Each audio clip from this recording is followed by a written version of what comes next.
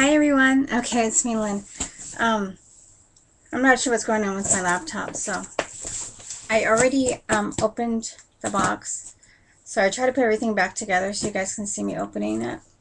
It went, the volume wouldn't work. So, and I also got a package from Laura, so I'm going to open that too.